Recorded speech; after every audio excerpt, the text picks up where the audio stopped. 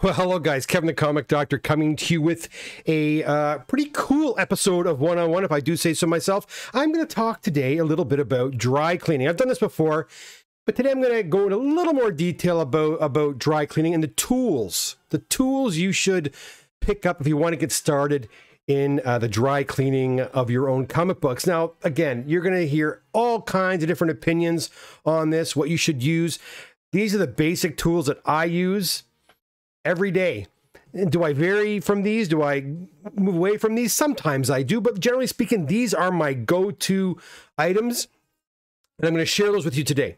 Uh, I'm also going to maybe give you a few tips on how to start dry cleaning the. I'm not. I don't have any overhead like you know of me working on comics today. I don't have that set up here. I'm afraid, but I do have uh, the tools over here to share with you. And then I'll, I'll bring a comic book out and uh, I'll kind of show how I would go about dry clean, how I would start, and things you want to uh, keep in mind as you're dry cleaning a comic book. So I hope that's of interest to you, and I welcome you all here. If you're new here, guys, I'm Kevin the Comic Doctor. I'm a comic book presser and authorized CGC dealer located way up in Oshawa, Ontario, Canada.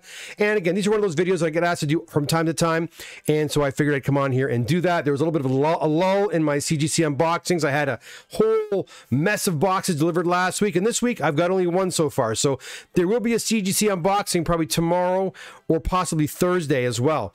And exciting, I have my Funko Pop I want to unveil to you guys, and that's going to be coming up pretty soon as well too on a special show. You're not going to want to miss that. Um, a great little surprise to share with you uh, very soon. Okay, let's go over to uh, my overhead cam. Where's there it is, and I'm going to talk to you first about the tools. Here we go. This is it, guys. The dry cleaning tools. Um, you know, uh, this is my go-to right here. My Staedtler uh, erasers. These are the best erasers you can buy, in my opinion, for dry cleaning comic books. They leave very little residue on the face of your book, and and and you, you really want that when you are uh, dry cleaning comics. You don't want to leave rubber residue. Sometimes it can't be helped but but these ones tend not to leave a lot of that uh, residue behind. Now, also, guys, if you have any questions for me, hit the subscribe button. Go over to the chat section. You can throw me a uh, question there. If you want me to clarify anything or any questions in, in, particular, fire them away. But you have to be a subscriber to do so, and I'll answer your questions when I'm done. I'll, I'll, go over there once I'm done introducing the, the different items, and then I'll go and show you the comic, and I'll come back and answer any of the further questions you might have. I don't imagine it'll be a super long video. So, anyways, back to it. This one here, you can pick up the Staedtler um, erasers you can pick up at uh, Michael's. They're very expensive at Michael's, actually. You can pick them up uh, at your your local art store or Amazon, right? Amazon. Next, we have. Um, oh, and by the way, what I love about these guys, you know, guys, you don't, you know, they just don't stay like that. I cut them up. Like I cut my erasers up. I got big ones, small ones, medium sized ones. I, I, I cut the pencil up to, or the eraser up to how, I, to whatever, I, whatever need I, I may have at that moment. Okay. Now to make sure I don't uh, take off color from the face of my comic book because that's a very common thing to do when you're dry cleaning comics. If you're not careful, the white area, no problem. But the uh, the colored areas, sometimes you got a white piece of area inside of a colored area, and you want to be very sure you don't hit that colored area because you can, um, by accident, remove color. You want to have a shield like this. Um, you can buy packs of these shields on Amazon for like I think ten or twelve bucks. You get ten of them. They're, they're metal ones. These are, these are the ones I like the most.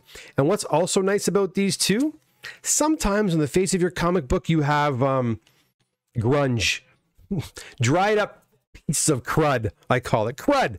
And what I like to do is these make a great, a great uh, tool to scrape dried crud off of your comic. But I'm going to warn you, not all shields are made alike. And this one here is a really nice one. It's got nice smooth edges. Some shields are very, very sharp. So if you try doing that scrape thing with uh, with one of the sharp ones, you can actually damage your comic. So what you want to do is you want to get a nice file or a piece of sandpaper and you want to dull the edges, make them nice and rounded so it doesn't hurt your comic book. So anyways, a nice uh, metal shield, eraser shield to protect the colored areas of your comic book. That is a, a must-have as well. Now you're going to notice here, these are called chem sponges, guys. This one is a used one. This one is a clean one. And I don't know if you notice a difference there. Check out the difference in color. And this is not even that dirty yet. Um, these babies, uh, they attract the dirt. And all you do is you take this and you, you basically wipe this on the face of your comic book very uh, gently, and it will draw up any of the dirt that's on the comic. And if you think I'm lying, look, look at the dirt. This is this is actually sucked up. It actually sucks up the dirt. And if I were to take a blade and cut this open, the inside would be just as clean as the other one I just showed you over here. But these chem sponges are also available on Amazon. You can pick them up uh, at any uh, art conservation shop. Um, they're probably 10 bucks a pop, I would think.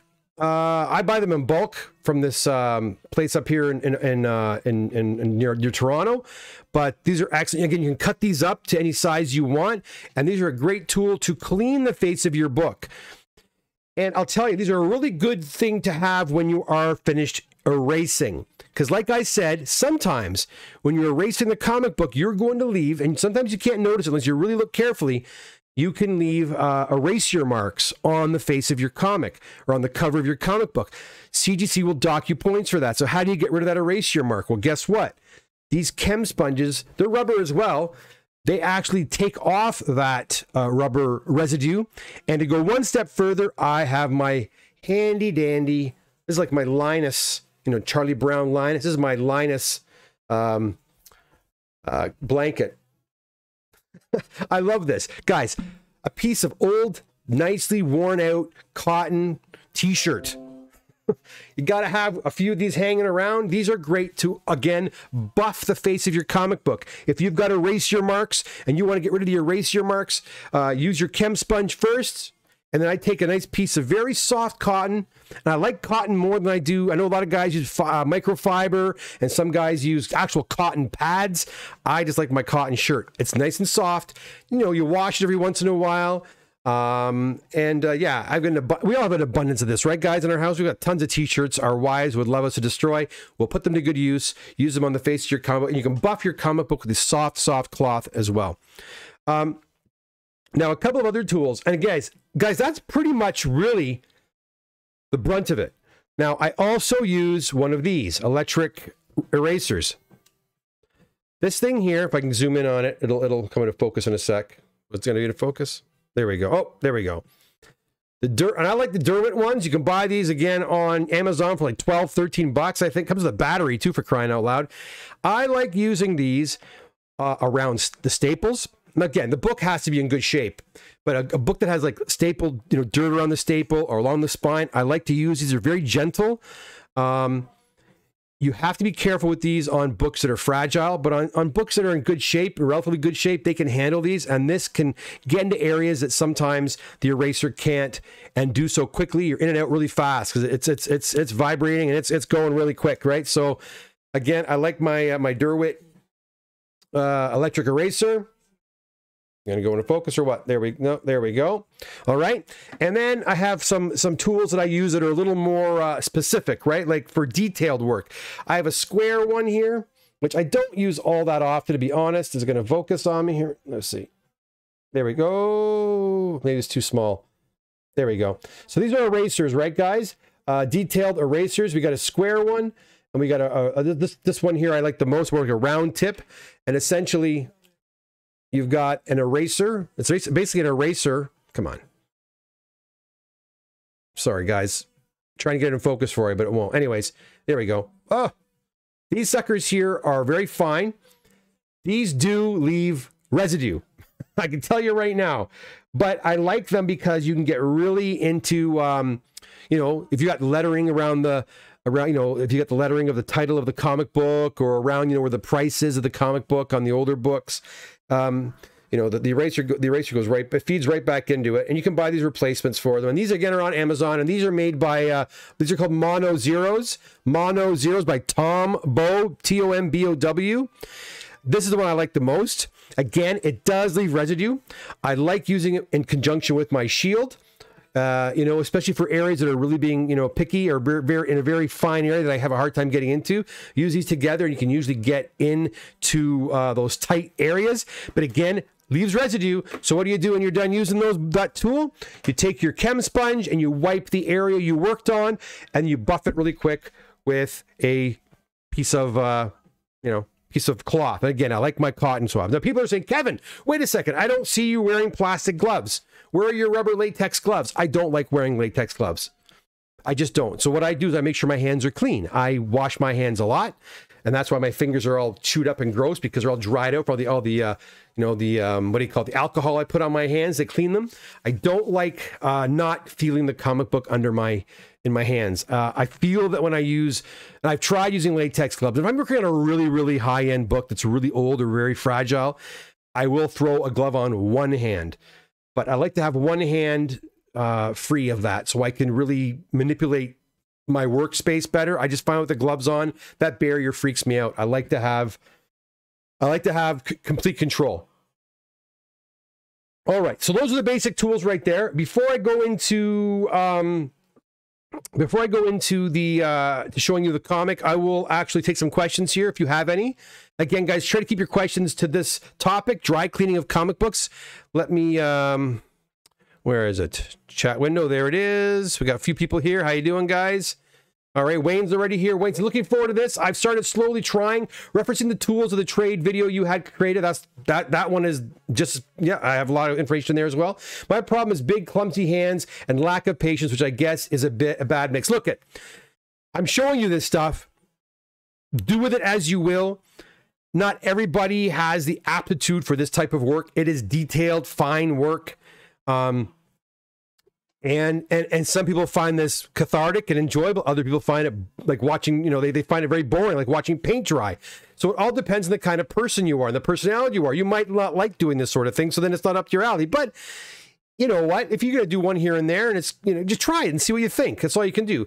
And yeah i know uh, having you know big you know football hands or whatever you want to call it, that might not be ideal right? Uh, but all you can do is try and having the right tools. And you know what? You don't, guys, you don't need more than the tools I showed. The, the, tools I just showed you there for dry cleaning, that's all you need. You don't really need much more than that. There are other things you can use, but that is all you need to pick up to get started. David Clare got me some brewskis for this. Excellent, David Clare. Good to see you, my friend. John Vargas says, Doc, I'm actually slow, slowly planning and trying to learn from uh, your tradecraft. Uh, bought a t-shirt press and a dry press ancient one. You know what? The, the, the ancient dry mount presses are gonna, is going to be better than that t-shirt press. Use the t-shirt press as your cold press and use that dry mount press. My question is, John Vargas, is what kind of t-shirt press? Uh, sorry, what what model of dry mount press did you get? I gotta know. What about Absorene? Yeah, I don't use Absorene. Some guys do. I don't. I don't. I find my chem sponges. I find my chem sponges do the trick. Um, but I don't use Absorene. I know a lot of guys swear by it. I've never, I've never really get into that. Um, again, what I'm saying is what this is what I use. Doesn't mean it doesn't doesn't work, right? And some guys use, you know, magic erasers, some guys use all kinds of different concoctions. I don't get into that. I keep it simple. Um, yeah. Bad Ombre, would you do one-on-one and group person sessions with a fee? Of course, we could bring our beat-up books. You know what, uh, uh, Mike? I was asked that exact same question by another Mike a few weeks ago. Unfortunately, would I do that? Would I do that? Sure, I would. But the problem is I don't have any time to do that. Um, and maybe I will at some point. Maybe when I finally, you know, retire from my other job and I have maybe some, maybe have some free time. Maybe I would do like Sunday lessons if people want to come in and I can show them some basic tricks of the trade. You bring in, you know, three or four books and we press and clean them. But the problem with that is some books require uh, long humidification. Remember, I don't use that steaming process. So if someone brings in comic book, they can bring in 10 different books and we can kind of pick ones that don't necessarily need a lot of humidification. Yeah, it's something I've thought about, Mike, that's for sure. Um, I bought my shield and Michaels, everything else at Amazon. Haven't bought a sponge yet. Yeah, the sponge, you got to have that sponge. That sponge, this, this, these chem sponges, uh, I'll give you an example today. I was working with uh, Nupur today and we were working on a Wolverine number one and there was a little black blotch um, on, on the left side of the comic. And and I said, you try to get rid of that? And she said, yes, I did. I said, with, with the chem sponge? She goes, yes, I did. I said, can you, and we have little bits of chem sponge cut up. I said, can you, on my hand, show me the pressure you used to remove the, the, the, the, the, the blotch. And so she kind of, you know, on my hand, I said, not enough. So I took the sponge and I pushed onto her hand and showed her how, how much pressure she should have used. So I went back and I, and I hit it and the black blotch went away. And she's like, ah, listen, it's, it's, it's getting to know the paper and getting to know how much or how far you can go with the paper with the tools you have, right? That's where you know I kind of like like will say, you know, I've done the exact same thing you did, but then when you come in, you just it just improves so much more. And it's not that she's doing anything wrong; she's doing it all right. The problem, not it's not even really a problem. It's just I just I have I've got many many years of working with all the different books of all the different um, genres, and I know what the paper can handle. It's you know different. Uh, I know the the paper can handle. Also, I know if the paper's been if the paper's you know. Um, you know, degrading. I know how much pressure. I don't get it right all the time, but like 90, 99% of the time, 98% of the times, I know how far I can go with the paper and I can push it to get the best results out of out of out of the the press, right? And um so that that's going to be a challenge for all of you if you're starting out. Just how far can I go without hurting the book? That's and and that's why you know like Nupur and even Charlotte they sometimes uh, stop because they don't want to do damage to the book. They think this is as far as we should go. I don't want to hurt the book. And that is totally what I've told them to do. I go, never go farther than you feel comfortable going. If you feel that going any further is going to damage the book, stop. And when I come and I do my my my uh, review, then we can discuss it and we can attack it and try to get it get it you know like that like that Wolverine number one today, uh, get it to the next level, right? So it's just practice, practice, practice, and taking your time and working on each book one by one. Uh, but, but Mike, you got it right. Amazon has a lot of the stuff you're going to need. And the, Michael's is damn expensive though. Uh, the P Man. Hey everyone. Hey Kevin. Love this video. P Man, welcome. Thanks for coming out, guys. I hope you're finding this. In, uh, you're you're finding this uh, informative. Um, John's here. Hey John, how's it going? Custom made everything this year. The tools of the trade video, excellent. I'm fascinated by your trade. I'm fascinated by yours. Custom made everything. That's Tim, guys. He did a fabulous custom Funko Pop. We're gonna we're gonna come on here probably Thursday night and talk to you about this custom Funko he did. You're gonna really love it. Uh, he's a real artist. He's a real artist, and you're gonna love what he's done. And uh, He's going to share with you what he does. And then, you know what? Some of you are going to really, really uh, love it so much. I guarantee you're going to start following him and, and maybe actually work with him one day because he puts together some pretty awesome stuff. Try putting your hand behind a small object that you're trying to get to a focus on. Oh, try putting your hand behind a small object that you're trying. Oh, I see. Good idea. I'll try that. John Short, interesting stuff. I hope so. Peter, shouldn't you have all of us sign a listen, nothing I'm showing today is is is, is secret. It's pretty, you know. Look at guys. There's so many guys offering, you know, how to books. You can buy how to books on how to uh, do this, how to clean books, wet clean books. I don't get into. A lot of guys do. There's books out there on all this stuff. The question is, do you do you want to do it? I always use this, this analogy, right? Um, you know, is it Chilton's? Is it Chilton's that used to make the old car, the car manuals? Like I go, I have uh, my Camaro in the garage. I've owned, you know, Mustangs, and I've got the Chilton. I think, I think it's Chilton's, the auto magazines or auto repair manuals. Um, I have like four or five of those manuals because I've owned different cars. And some, you know what? I like to fiddle with the cars, and if I got to change the brakes or I got to fix the windshield windshield wiper motor, if I got to change out the starter or whatever, I've got this manual I can follow to do the job. But sometimes, sometimes I don't want to do the job. Sometimes it's a little more than I want to do. Maybe I just don't feel like doing it. And so I take my car to a mechanic. The same thing applies here. Try it. If you like cleaning your comic book, uh, comic books, par- you know, pardon me, you go ahead and do it. But if you don't enjoy it, or you, you may not enjoy it, uh, you'll uh, you'll send them to, to a guy like me or to another presser. And it's funny, and I always bring my buddy Paul up. My buddy Paul he lives in New Brunswick. I don't know if he's watching or not, but but he, he you know he was retiring from teaching. He's he, he's five years on me, lucky guy, and he wanted to learn how to press and clean column. I said, Paul, you're retiring. Why don't you come and help me? You know, I'll show you how to do it, and you can start helping me because Paul's a, a great guy and he's very artistic in his own right. And but Paul has those football, those big hand, those those baseball glove hands too. We were talking about earlier. Anyways, Paul came into my office here. I, I set them all up, and he, I gave him the erasers. I gave him all the tools that I just shared with you, and I showed him how to work. And he started working. He worked for about thirty five minutes, and I heard him kind of put the stuff down. I said, "What's up?" He goes, "Whoops," and he, and I said, "What's up?" He goes, "I don't like this."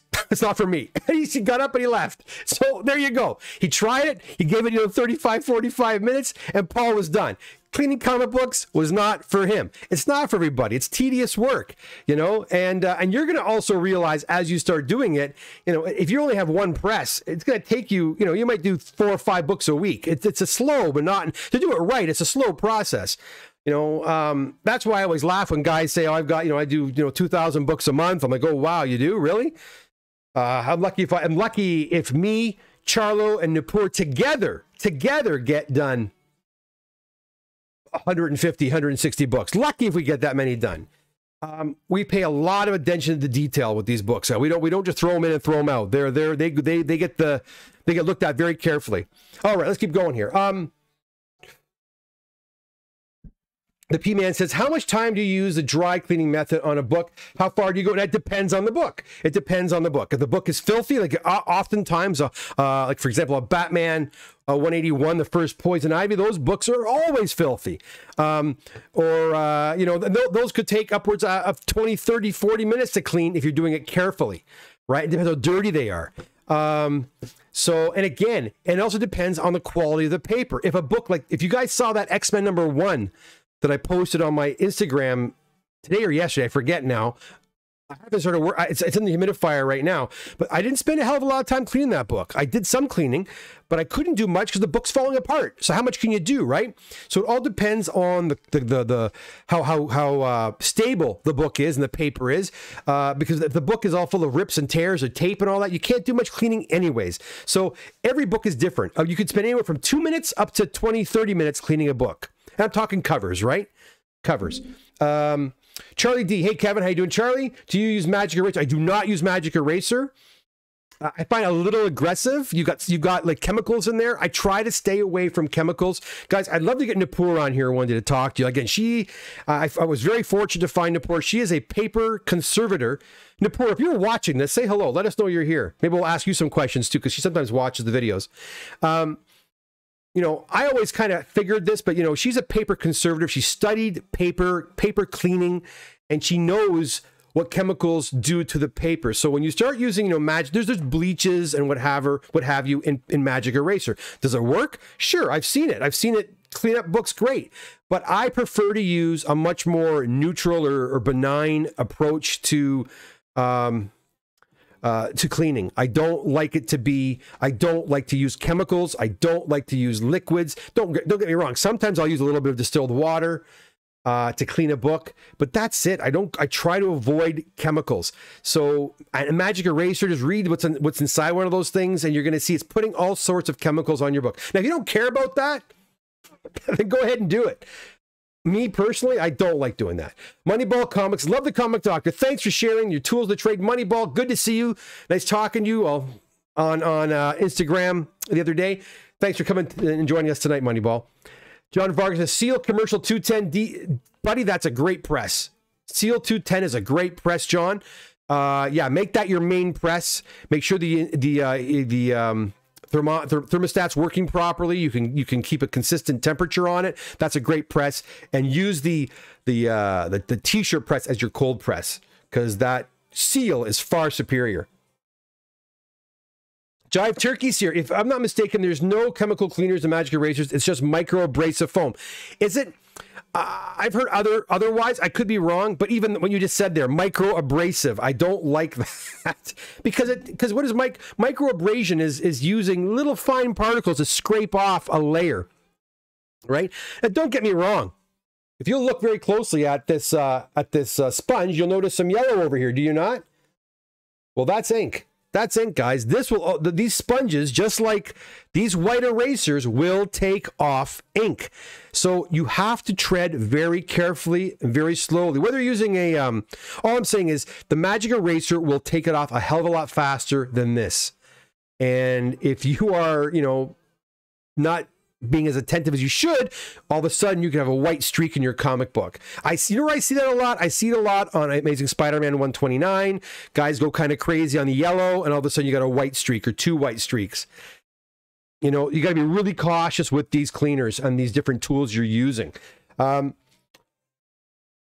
Smash that like button. Yeah, I forgot to tell you guys, 23 likes. You got 34 of you in the room right now. Please hit that like if you wouldn't mind. That'd be certainly appreciated. Let's get up to, just try to get to 40 likes. That'd be wonderful.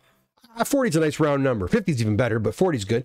Um, Digital Man says, I only uh, press and clean modern books only. That's cool. That's your comfort zone. Then do that. Do your comfort zone.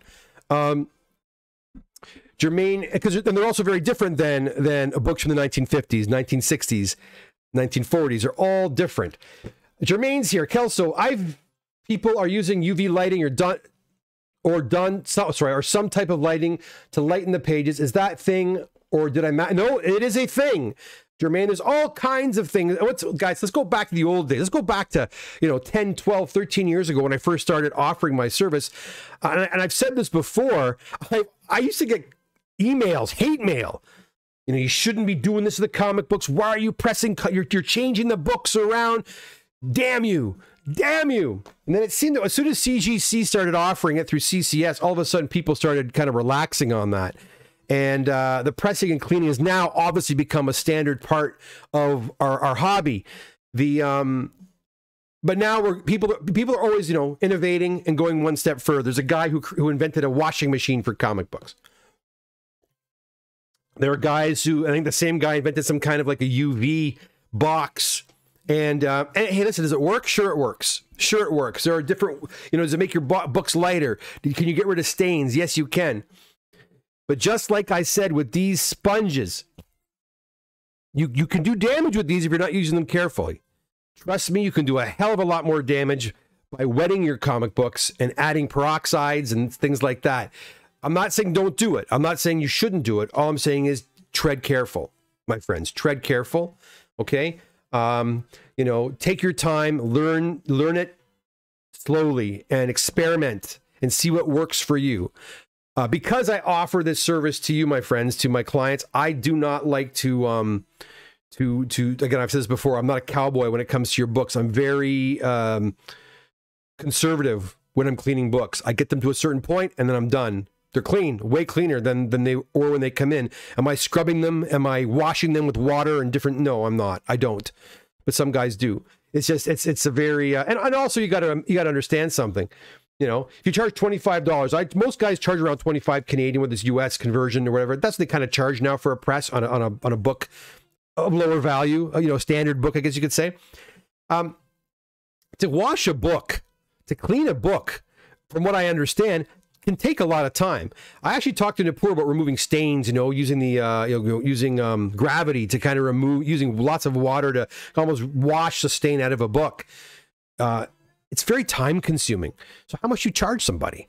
So I've got a book. Say I've got a book. Like I got this book here, like this Archie book, for example. It's not a big book, you know. Archie Giant number seventy six.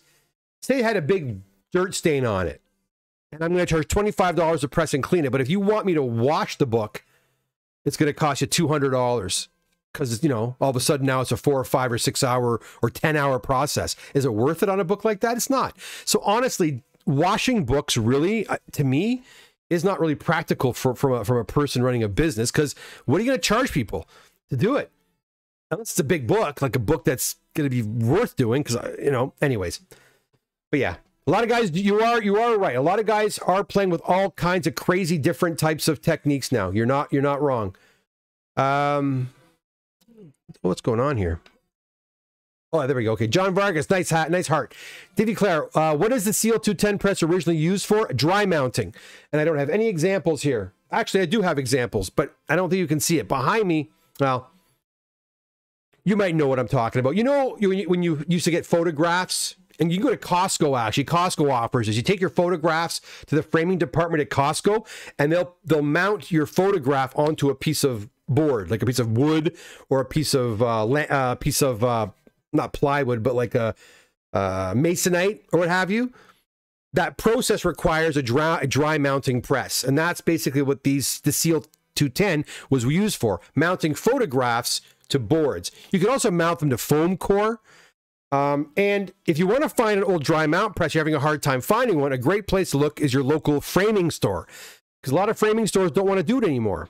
So if you call them up, they may have an old dry mount press sitting in the back they want to get rid of. I found a couple that way, actually.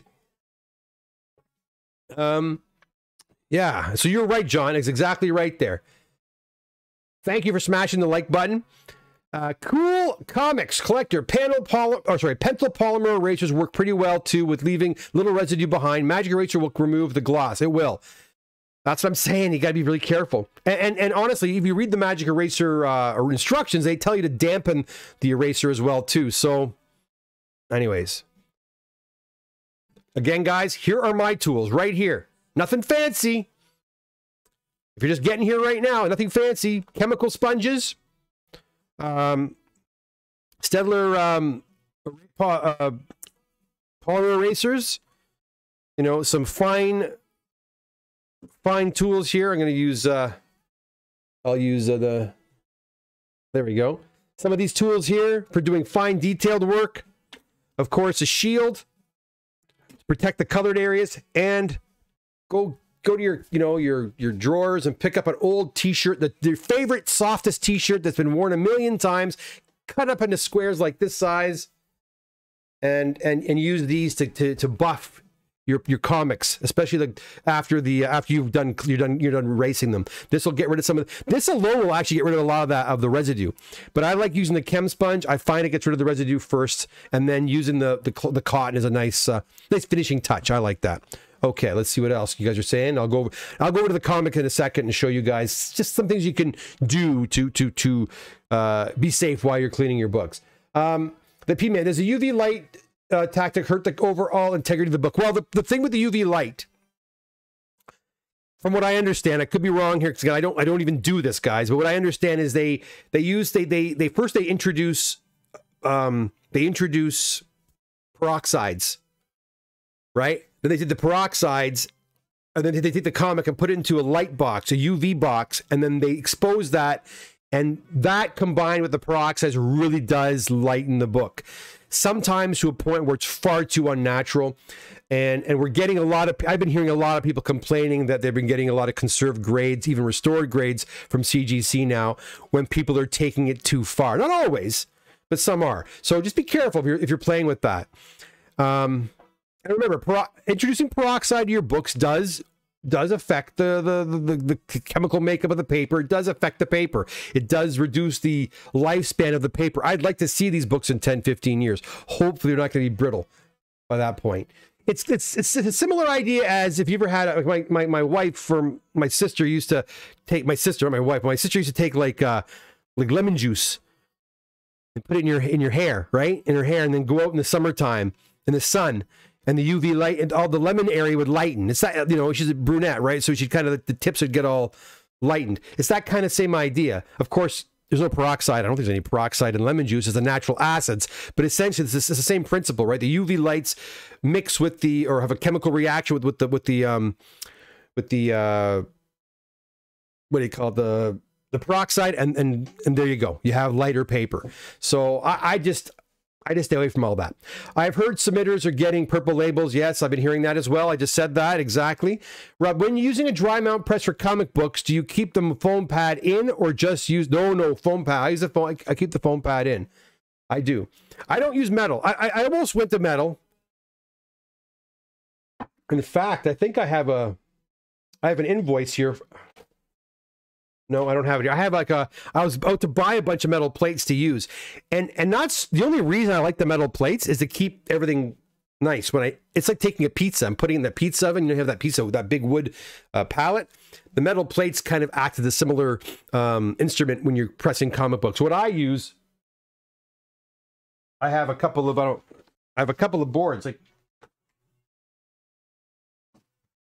like everybody else, guys, I sandwich. You know, I use these old these pieces of um these are not cheap. These are like uh pieces of illustration board. Uh, uh Bridge illustration board. I sandwich the books in here, and then of course I use and then, but these get these get marred up over time too. So you gotta be really careful when you when you put them in. If these are all full of debris or dents, those will transfer to the comic. So you have to protect the comic with a giant magazine board. You know, that sort of thing. It's really important when you're doing this to really monitor your, your your tools as well to make sure there are no there's no debris on any of the tools you're using. Even going back to this stuff here, guys, like if you don't clean your your your your cotton your cotton very often and you get, you know, it gets a buildup of whatever and you go to wipe your book and there's something caught in there, you'll scratch your book or you'll indent your book. So you got to keep everything clean and everything's got to be, you know, don't be cheap. Throw stuff away. If it's old, it's gone. Throw it away or recycle it and move on to some new, new, new products. Okay. Let me show you a few things, guys. And, um, let me show you a few things with a comic book here. Let me, uh, let me get it ready for you. Let me just get this all ready here. Whoop. Let me go to the chat room first, and then I'll go to my other area. There we go. Okay, so just a couple of tips I'm going to give you, or I'll give you a couple of tips here. And um, all right, so here we go. Again, I'm, this is really awkward for me. This is about a, about 45 centimeters from me. I'm going to try to fix. Actually, I want to just do one thing here. Let me just try to fix my. Uh, so I'm not off the scoops. There we go. One sec. Just fixing my uh, my screen here. Okay. Let's try that again. There we go. Okay, so, so I don't want to be off the screen. I hope you can still hear me. I'll come back and take more questions as well. So when you're working on your book, the first thing you want to do is just inspect your book. Look and see where you have, use a light. Get a nice, powerful, like LED light, shine on the book if you don't have a good overhead lamp, and see where the problems are look really closely and see where the dirt is. Now, in a situation like this, you know, you get a fat, you get a fat eraser like that. You don't want to be using this fat eraser over here, right? So you want to cut your eraser up. Take take a take an exacto knife or whatever, and and cut your eraser into little chunks into small areas and work on it. Or that's where you can use your shield. You take your shield, and as you can see, look at that. All of a sudden, I've just protected this area here right there. So I can take my fat eraser and I can work that area and I'm not going to, I'm not going to hit any of the colored areas. And that's a very, it's very important. Um, alternatively, where'd I put them? I just had them. What the hell did I do with them? Look at oh they're there. Alternatively, you can use your your your precision instruments and you can get right in there. As you can see, it's very small. But again, you want to be very careful because these do leave a lot of residue. When I'm all done cleaning this area, I'm going to take my chem sponge, and this is a dirty one. I'll take a nice clean chem sponge. And again, the chem sponge you could also cut up into small chunks. I'll take my chem sponge and I'll, I'll wipe it. I'll wipe the area to make sure all the residue's out. And then I will take my, I'll take my, uh, my cloth. I'll take my cloth and I will just buff the area gently, just very gently, and that's it. That's all. No, no, no, no, no, no. It's not spraying it with anything. I'm not doing anything. Just dry. Dry cleaning means dry cleaning. It's dry. That's it.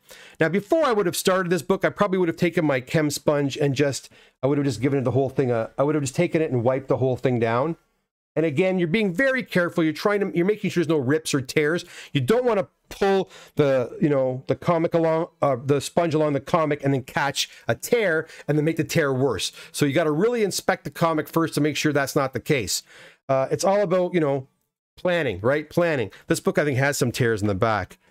Yeah like over here for example like you can see this tear down there like i'm not going to take my sponge and go in this direction and then tear it right off you know what i mean so you want to just avoid areas like that with your chem sponge and make sure it's it's you're not hurting it um, Something else you want to consider.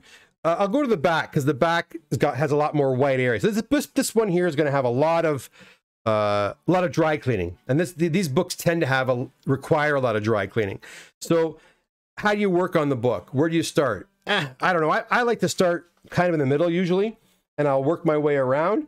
You know, I'll work the areas, and then I'll work the edges. I'll use my I like using my uh, again my electric on the on the edges. Sometimes I, I like using that. Um, when you come to the edge of the book, I had I had something here. Uh, where did I put it? When you come to the edge of your book, what I want you to do to avoid because it's hard it's it's not easy to clean the edges of a book like right towards the edge there so what you want to do is take a board like an old comic board shove it in there and it gives your your it gives your um your you got you get some support now so when you're cleaning the comic there's less chance of you of you causing you know having a problem or tearing the book or catching the book and then causing a tear. Also, you don't want to go back and forth. You don't want to go back and forth at the edge of the book. Over here, you can go back and forth. At the edges, you want to go in one direction and you want to go out. You want to work your way out, outwards. All right. You don't want, and again, I can't even see what I'm doing here. I'm just kind of doing this for your benefit, guys. I can't even see if this book is dirty or not. I'm just kind of showing you some, some little tick tricks here. Again, at the edge here, work outwards like so. You know? Um, yeah. Oh, I forgot also. I'll be right back. I forgot a very important thing.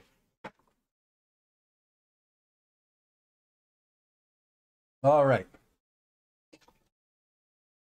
You have to have a duster, a dust, a, uh, a brush, a dust brush. This is a drafting brush. You have to have one of these. You got to always keep keep constantly brushing the stuff, the, the debris off your book. You don't want to keep it in your in your area at all, because invariably what could happen is you go to press your book, uh, you know, uh, a piece of uh, rubber gets, you know, we just don't see it or gets stuck to the book or whatever, and you press it into the book, and then you got to start all over again. It's a big mess. You want to be very, very careful, okay? So, um, what else can I tell you? Um, it's all about keeping the book safe while you're doing it. It seems it seems simple enough, but you can cause a lot of damage, even just doing dry cleaning if you're not careful. Now, I'm working in a very tight area here. It may not seem like it on the, through the magic of YouTube, but I am. But make sure your area is tidy. All your tools are accessible. You've got room to move. Keep your drinks. I know it sounds, I know you're not, you guys aren't going to do this, but keep your drinks away from the area, any food away from the area. Um, spills can happen, of course. Uh, yeah, and, and that's that's pretty much it. And and practice, practice, practice, practice. Um, I'd love to do a video where I actually go into you know how to fix dents and things like that. I just don't have the the setup here. I, I mean, I, you'd really have to zoom in on on the book, and I don't have the the ability at this point to do that. But if you have any questions about dry cleaning, let me know, and I'll be happy to uh, to to uh, to answer them right now. We're, we're at the uh, one hour twelve. I'll go to their five or ten minutes. I'm going to get out of here, guys. I, I, do have to do some pressing tonight, actually. So um, let me go back to the uh, chat window and see what you guys are saying. Uh, Robin, yeah, okay, we did that one already. Okay, did that. Dave House, what can be done to prevent pages from becoming brittle? Or will this happen naturally over a long enough time? Well, it's all about storage, Dave. It's all about storage. If the book has been left in a garage and it's been hot in the summer and cold in the winter and hot in the summer and cold in the winter, and that's been going on for 25 years, and, the, and it's been you know sitting in the open air, the, the pages are gonna are gonna these these books were not made to last, right? Like these comics were what this one's 25 cents this one year. These books are meant to be read and chucked, not read and stored and kept. It was kind of a new thing in the in the I think in, in some guys in the 60s and 70s started collecting these comics and, start, and take, started taking care of them, but for the most part they were meant to be read and disposed of. So these books were not newsprints not meant to last. So they're going to eventually, you know, not always, but how do you prevent it? At this point, if you've got a book that's already brittle, unless you have it deacidified, you go to someone like Kenny Sanderson and have them actually treat the book, uh, which is not cheap, right? It's not cheap. Um, the book is kind of, it is what it is. And even sometimes the book is too far gone. I've seen Kenny say that the, the, book's too far gone. And by the way, that's something that Nupur and I want to start doing as well with the comic doctor. She is skilled to do all that sort of work. We just don't have the setup just yet to do that. But that is something that we plan on doing in the near future at the comic doctor office, doing a little more restorative work, uh, you know, uh, uh, um, what do you call it? Um, paper and uh, stain removal. This is restoration restoration work, though, not not. I consider what I do more conservation, but Anyways, uh, how do you prevent a book from getting brittle? Just take care of it. I mean, store it's all storage, right? So you know, having it uh, clean and pressed, not adding chemicals to it. I think that's important.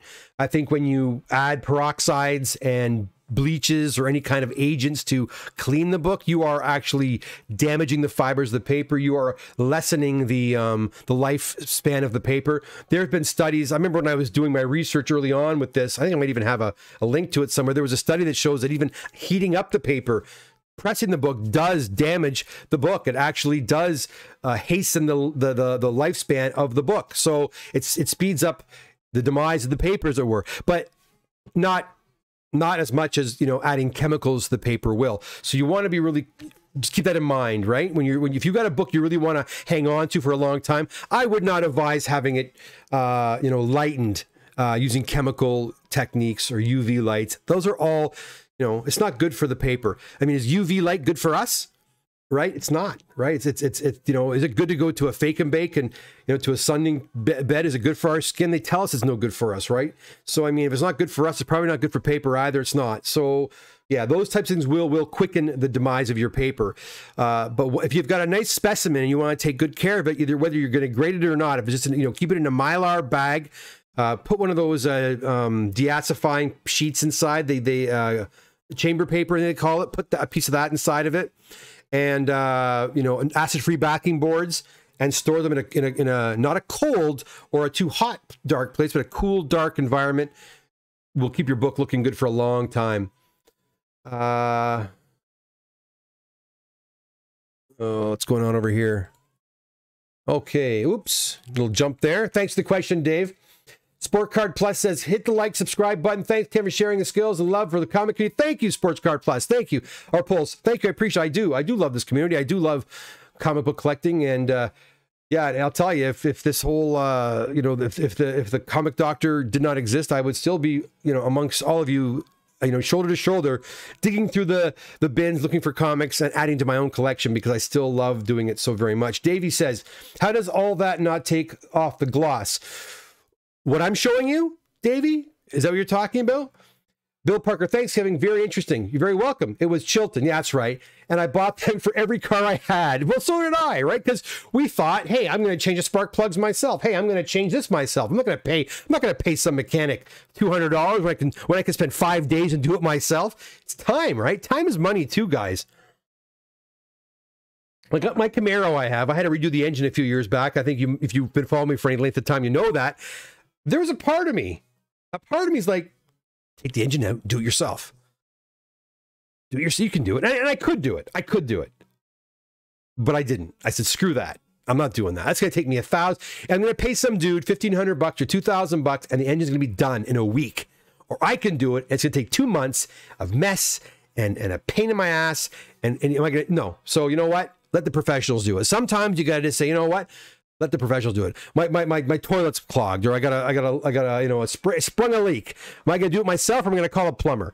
Sometimes I may feel the, the, the uh, desire to do it myself, but oftentimes I'll just call a plumber. I just don't want to deal with it anymore. Can I do it? Sure, I can do it. Do I want to do it? No, I don't. And the same thing can be said about comic book pressing and cleaning. Because you can do it doesn't mean you want to do it uh, or have time to do it. And I, and I don't know if Roy's watching this or not, but Roy went out and bought a press and his press is now with me because he he he bought it and got good on him. He was going to do his own books, but you know what? Roy's a busy guy. He's running around doing stuff all day long, and and he doesn't have time to sit there and press comics all day, and he doesn't want to. So he hands them over to me or to other guys we know, and and and it gets done. Or otherwise, it doesn't get done. So yeah. Uh, F F Lord says, "How do you get rid of dents?" That's another video, my friend. That's another video. But I'll tell you right now, the first thing I would suggest to you, how you get rid of dents? Humidify, humidify, humidify. Experiment with how long you humidify the books for. You'll be shocked at how how many dents will be removed simply with the humidification. Oftentimes you need some hand tooling as well, but humidification is really an amazing tool to use, a very simple tool to use uh, to get dents out. Ford uh, Rob Ben says those purple labels may be a good thing, discourage people from from uh, compromise. Yeah. I don't know. I'm, I'm really on the fence, man, Rob, about the whole the whole thing. I mean, I, I don't know what to say. I, I, I I'm more concerned about the demise of the paper. I don't. I mean, if I knew that the paper wasn't going to be compromised in in using peroxides and such, I might start offering that. But at the same time, again, how much you char- how much these people charge for that? Is it worth it? Like if you've got a book, like a nothing book, and it, it might be fun if it's your own book and it's not worth very much because the time and effort you're going to put in to fix that book, just go buy another book that's in better shape, right? Because uh, I'm seeing a lot of guys, you know, whitening the pages of books that aren't really worth whitening, and then they get them slabbed, whether it's re- restored label or not. You've now exposed that paper to chemical, and how much, how long is that going to last now, right? So yeah. Pappy says, uh, so yeah, and compromising the integrity of the book. So I, I agree with you. I, I, think it's freaking a lot of guys out, and it should. You know, um, it should, man. I, I, I just call me a square. I don't care. I just, I just rather keep it simple, man. Heat, you know, simple erasers, humidification, press, clean, done. You know, uh, chemicals, I really don't want to get into. I think you're opening a can of worms. I said it before, and I'll say it again. If you do it, God bless you. I have no problem with you doing it. I, I just don't. I just and and I won't. I just won't do it to my client books. That's all. I just I don't. I won't expose client books to that. I, I think you're looking for trouble. Pappy says, "Comic Doctor, I hope you are not retiring soon, since you are telling us all your secret cleaning methods. They're not secret. No, I'm not retiring anytime soon, my friend. Um, I'm not retiring soon. Um." And again, these are really not secrets. A lot of this stuff can be found. I, I tell you what, but but what I am telling you is you don't have to be too fancy. It doesn't require a lot of fancy gizmos and, and whatever. You will you will be amazed at how how how uh, how how how much uh, how effective some of these tools are. Um, you know, just simple tools. And and Mike said it himself. He bought most of his on Amazon and on uh, Michaels, and he's amazed at how you know he'll be amazed at some of the results he's going to get simply by dry cleaning. That that's what i love you know? The dry cleaning is is such a, a simple technique. It's actually like I said, it's very relax it can be very relaxing too. It's kind of i find it quite quite fun. Now some guys might not find it fun. I i do. I know when Nupur came on and i mean Nupur was used to cleaning like ancient you know victorian documents and and and she showed me showed me some of the stuff she did. It was crazy but when she started working on the comic, she said it was a lot of fun. And, and I think she liked it because the gratification of cleaning the book came really quick. It wasn't like waiting weeks and weeks. It wasn't a long, arduous process like I'm sure many of the pieces she worked on um, were.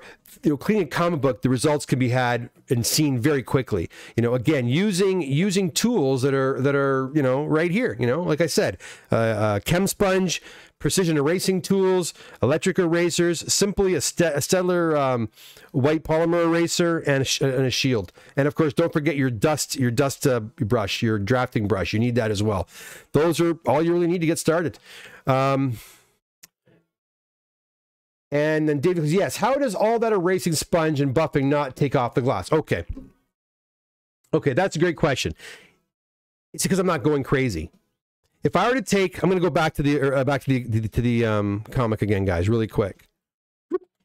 So Davey's like, "How come you're not er- taking the gloss off the book?" I'm going to tell you something, Davey. You can, you can, and that's what I'm trying to say. If I were to take this eraser right here, okay, and I started erasing right here, actually, you know what? Even the white area. If I started erasing this white area, kept going for like say 12, 13 seconds that gloss is gone. The gloss is gone, my friends. You will remove the gloss. Um, if I took my magic eraser and I rubbed and rubbed and rubbed and rubbed and rubbed and rubbed, blue will start coming on here. And eventually, yeah, you will take the gloss off. It does happen. Um, I'm just not going crazy. It's again, it's you got to temper your your your uh, what you're doing. You've got to kind of gauge how much pressure you're using and uh, you can be very very careful. I have gotten books brought back to me where where people other people have worked on the books and they've taken they've taken um, the gloss right off. And i can't do anything about i can't put gloss back on right? It's gone. Once it's gone it's gone. So again you have to before you even start. Go over to your local you know or if you, unless you have some of your own find some crappy old books you have. They're not worth anything. 10 cent books and practice on them and get a you get a feel for it. You learn pretty quickly how far you can go with with the um with the erasing. You just don't you don't want to overdo it man because yeah you're right. You can take the gloss off. Davy clare is 100% right. Um to answer your question, I hope it does. You know, I, I, can't. It's hard to explain. You know, put this much pressure on for this amount of time. I don't know. Just start working with the paper, and you'll figure it out. But you can remove gloss. You can remove color. These will remove color. These chem sponges. But if they're just used gently and um, moderately, even less than moderately, you won't. You, you'll not hurt the book at all. Um, and again, just to give you an example, guys, this is me Again, I just want to show you the difference in color. This is a clean one, brand new. This is an old one. And this is me just wiping the comics very gently. Okay, it, this these are designed. These are actually designed. These are designed for uh, cleaning up walls after fire damage.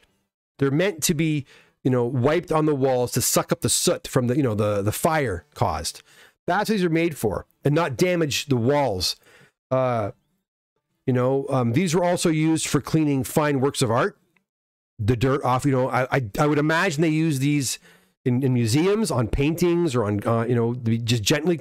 If you play, if you put this over top of a painting and gently just stroke the painting, like wipe the painting, it will take the dirt off the painting and not cause damage to the painting surface itself. Now, someone earlier mentioned the magic eraser has like abrasive polymers. That's the problem. You don't you don't want to have abrasive, you know, like like like like sandblasting. You don't want to, you know, it's like sandpaper, right?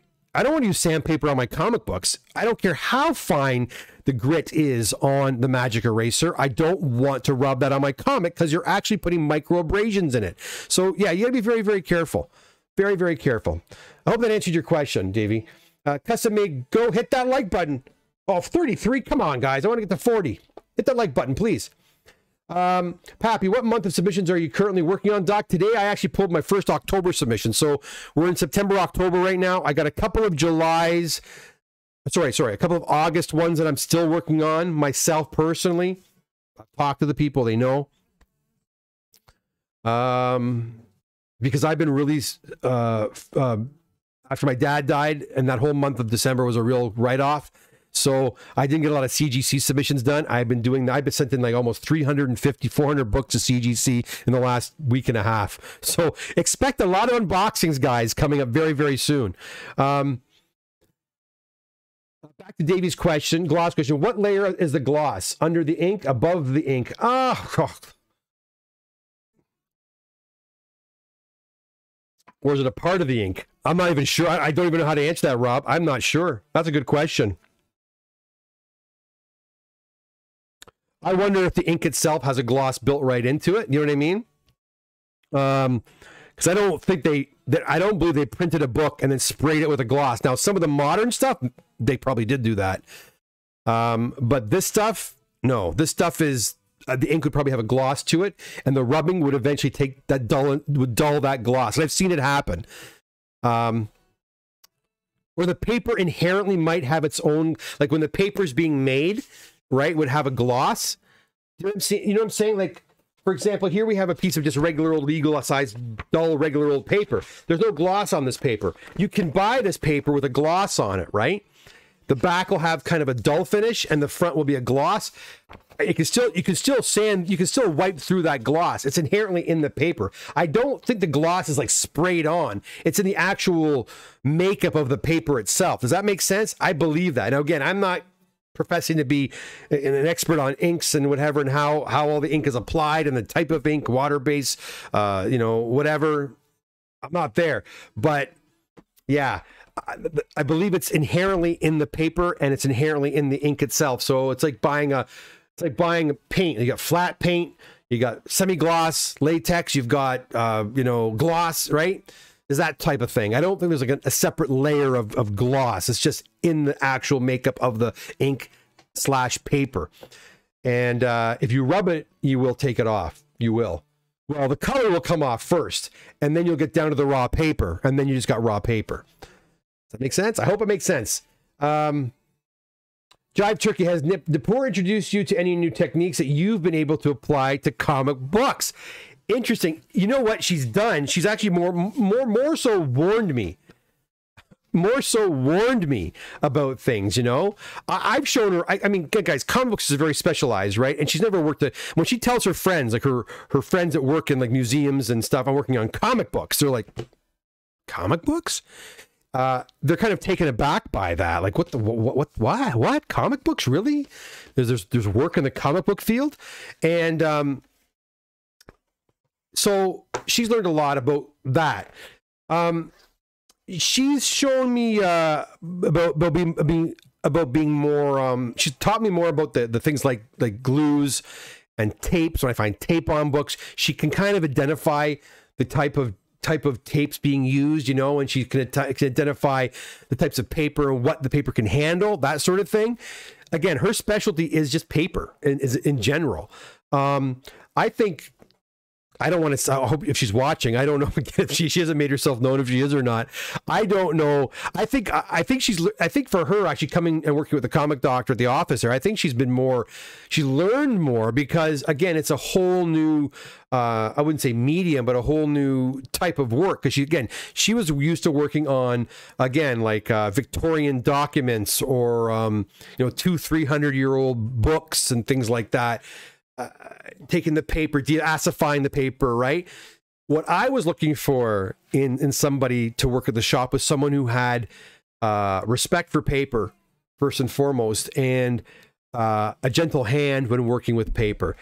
You know, I think she's very cautious, and that's a good thing. Like I said earlier, and and I'm teach I'm trying to teach her to be a little more.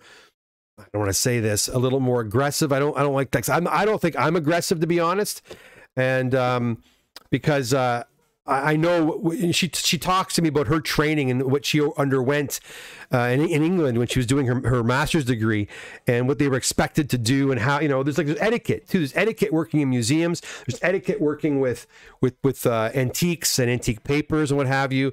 And so I, I, learned a lot about that, which I think is very very cool. Um, again, I'd like to have her on here one day. I don't know if she will. I know Charlo has no interest in being on, on camera. Nupur might and then you could ask questions all, about paper. You know, would you like that? I can I can ask her. Um, uh, David Clare says, I'd love to visit where they print and assemble new comics to see the process. So would I.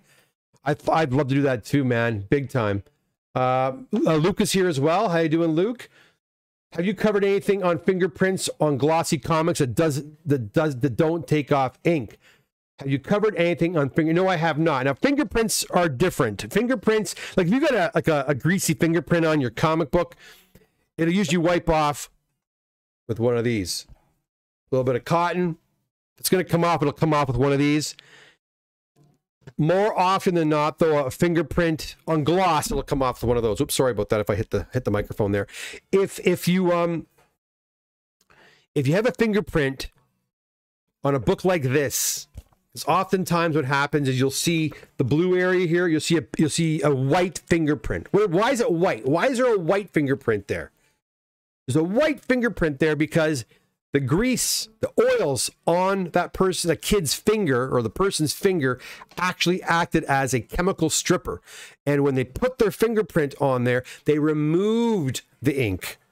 So the white fingerprint you're seeing is actually removed ink, and you're seeing the white and the paper beneath it. So you can't you can't fix that. That's gone. That ink is gone. It's almost as though they stripped it right off. Now, if you've got a black fingerprint on blue like this, a black fingerprint, you know it works fantastic on those? Chem sponges. But again, it's you got to have a very be very delicate. Now I'm to show you a little trick too. Check this out. Before I do though, think think of something. Imagine we had a micro, uh, you know, a really powerful microscope, and you could zoom in on the paper. You would notice the paper actually has a texture, right? Kind of a bumpy texture.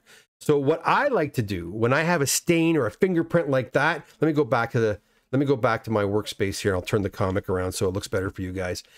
When you're working on a comic like this, and say you have a fingerprint, I don't know, say you've got a, a fingerprint down here, like a, a black a black fingerprint, which means that dirt from the finger has been placed onto the comic, right? A dirty finger has touched the comic. You haven't removed the ink, you're putting the dirt and grunge on the comic. You take your chem sponge and you you wipe it. And when I wipe it, I'm not putting a ton of pressure on it. A little bit, but not, not I'm, I'm not like I'm not doing that, right? I'm just kind of like that. And what I will do is I'll go in one direction, right? And then I'll go in another direction, then another direction and another direction. Why do I change the directions? Because again, the paper again is bumpy. If you zoomed in on that paper, it's not as smooth as you think it is. Like our skin, our skin isn't perfectly smooth, is it? If you, took, a microscope, look at our skin, it's almost bumpy. Well, the same thing. Microscopically, under a microscope, this paper's got a texture to it. So if the dirt is in different areas of the of the of the of the um, of the texture, just going in one direction isn't going to get them all. So I like to go in different directions. I'll do kind of like I'll do like a crisscross. And I find that really does work to get stains, fingerprints out of the paper. Um, even if I'm going in one direction, it's not working. If I go in a different direction, sometimes it takes it off. It's because that that stain is embedded in a different space, I guess. I don't know. Pretty cool though. So there you go. Hope that helped. Um, Jay Reynolds says, I would think that gloss is similar to that which we see in the backer boards. Eh, kind of. Yeah, I would I would agree. It's kind of like it's kind of like that. It's kind of like that. So take your backer board, take your gloss backer board, and start rubbing it with an eraser and see what happens. See how long it takes you to get through the gloss on your backer board. And, and there you go, right? Similar idea. Uh, Sports Card Pull says, similar to backy board. there you go. Rob Bin, uh, I think you're right. Gloss must be in the paper. It must not be in the ink because the white area also has gloss. It does. I think it's how it's produced. It's the nature. It's the nature of the uh, of the paper. And keep in mind, if you guys know those Canadian white uh, comic books, they weren't even glossy.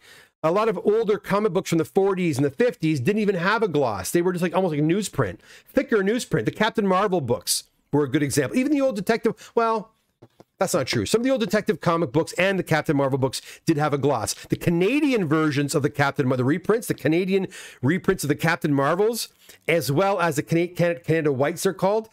Those just had newsprint covers, and they had, they had no gloss at all.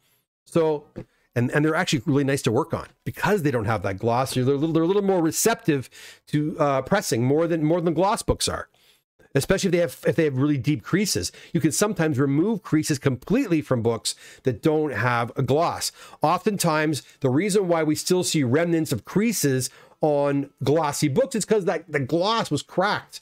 The paper was cracked and we see it. Again, on a book that's very pulpy, that has no gloss finish, it's very dull. If it's got a sharp crease, you can sometimes manipulate that paper so the crease is almost non-existent after a good press or hand hand tooling. It's crazy. Um, Davy Clare, maybe the white is not also is also ink because you can color break white. Um, oh, I don't know. Maybe. I'm not sure. I'm not sure, Davy. I'm not sure. Or, or Rob, I'm not sure. Dave House says, "Can ink be treated?" There's a lot of stamps from the older books, and it breaks my heart. No, ink ink is on there. If you've got ink of any kind on your on you, one more like to hit 40, guys. Can someone hit that like button to get me to 40? Come on, have a heart. I want to get to 40. I like getting 40 is a good number. I like. Um, no, if you've got an ink stamp on a book or a marker or whatever, it's on there. It's on there forever. Sorry, Dave House. Not much I can do about that uh, the P Man. So you don't. I like some of those stamps. I had this conversation before. Sometimes those date stamps are pretty cool. In fact, I had a comic at, at, the shop. I was doing some pricing on comic books today at the shop. I had a few minutes. My daughter was before we had a doctor's appointment, and I found an old comic that was, that came from Morgan Self which was a comic store or a bookstore, I should say, that was located in downtown Oshawa from the 19, I think, 40s, and it, it, closed up in the 80s. And I used to go there for comics in the old days. You can find some real great books there. And here is an old comic book that was from there.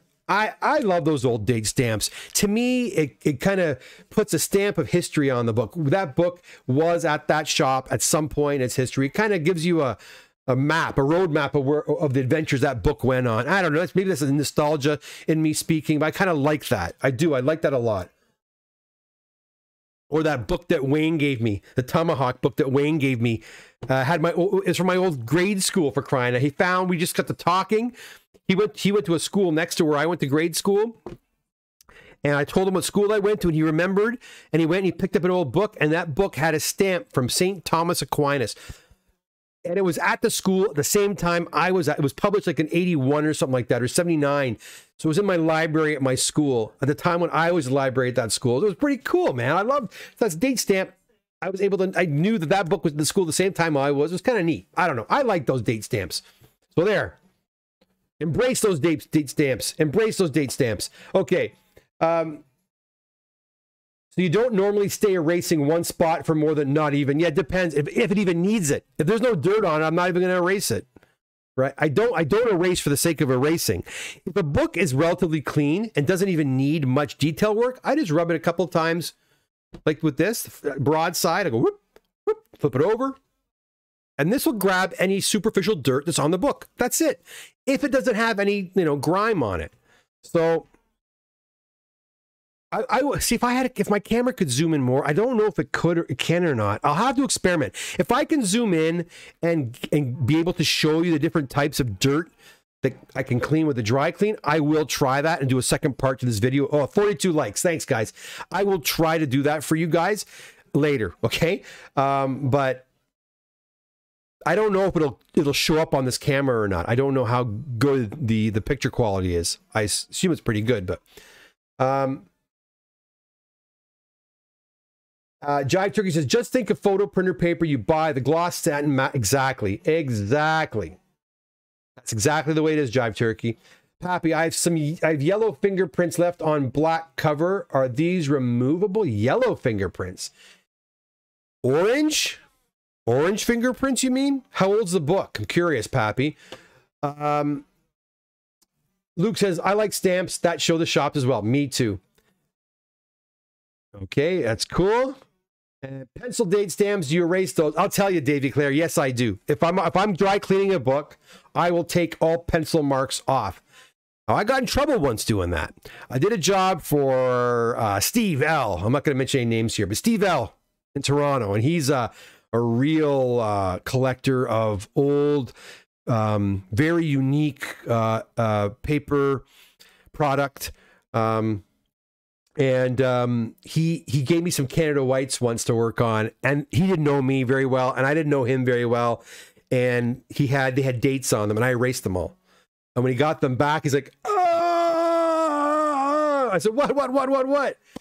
And I'm like, uh, he's like, "You erased the dates." Yeah, well, I dry clean the books, and he so never dry. So yeah, I learned that day. Don't don't clean, don't take off date uh, pencil dates for Steve. Most guys want them gone but he doesn't. He likes it on there. So yeah, it's a part of the the patina of the book, is a part of the history of the book, whatever you want to call it. And some guys really really dig it. So you gotta you gotta give them what they want, right? But if you if you give me a book to dry clean, there's, there's pencil on that book, it's coming off. St. Thomas Oshawa, actually. St. Thomas Joy Coco, uh, Oshawa. Uh, Pappy, it was ASM book, first black cat appearance. Interesting. Yellow, eh? Sometimes I see yellow fingerprints on really, really tanned books. And it's almost in the paper. It's almost like it's foxed into the paper. If it's yellow from ink, it might it might come off. It might come off. I have to see it. Send me a picture, Pappy. Send me a picture. Guys, we've been going for an hour 40. I'm done. It's already 812. And I got some more. Uh, I've got some more um, books that I need to get to. So let me get back to my main screen here. Guys, thank you so much for coming out today. Listen, I'm very, very close to hitting that 2,000 subscriber mark. I think I'm like 50 something subscribers away. Share the video. Uh, get more guys and gals involved, and we can give these books away and these prizes away finally. Uh, thank you. I hope this video uh, helped you a lot. If you have any questions, any further questions I did not address here on the video, feel free to ask a question in the comment section. I'll do my best to get there and answer those questions as well. Also, if you have uh, very specific questions, you can always just email me as well. Info at thecomicdoctor.com. Also, guys, remember, we are now at about a 12 week turnaround to get to your comic books. If you have books you want to submit, and I've been telling people that, and the numbers are starting to go up. So if you've got books you want to submit, uh, now's a good time to do so. Uh, feel free to go to my website, comicdoctor.com, and you can fill out a, a submission form there and hold your spot yourself a spot in our queue. All right. That's it for me, guys. Uh, hit the notification bell. I'll be coming back on here at least twice, two more times this week. I have an unboxing to do, and I want to share with you a really fun Funko Pop custom of yours truly. You're going to really like that. So uh, that'll be on Thursday night for sure. Okay, guys. Until next time, take care. Thank you so much for staying uh, staying with me this long, and we'll see you again very, very soon. Bye for now.